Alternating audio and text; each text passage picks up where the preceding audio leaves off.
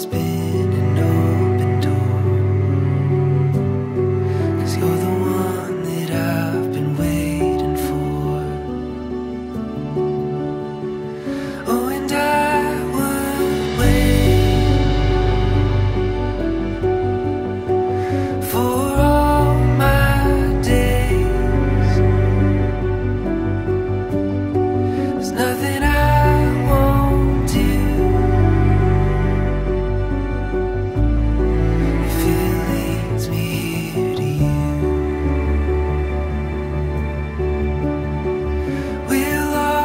inside a dream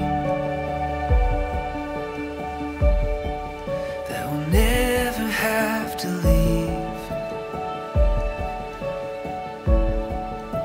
Forever